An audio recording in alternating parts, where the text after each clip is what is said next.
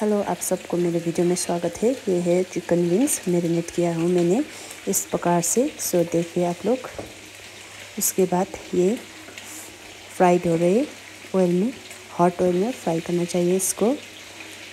Fry करने के बाद ये जो छालनी है, इसे निकालना है इसको। सो ये सब फ्राई होने के बाद इसे इस तरह से आप लोग निकालिए और आप लोग का चिकन विंग्स रेडी